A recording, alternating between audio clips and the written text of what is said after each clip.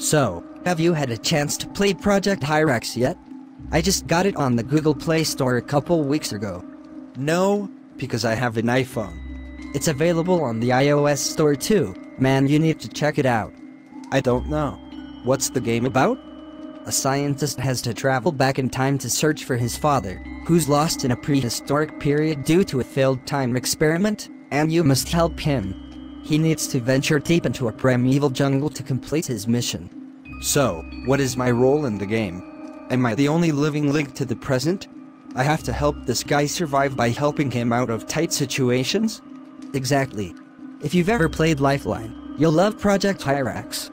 This sounds awesome. Has anyone written a review about this game? I would love to read more about it. Of course. The guy who runs 8-Bit Undead did a full review on the game. If you follow him on Twitter, I'm sure he has posted a link to it. You really need to check it out. Enjoy.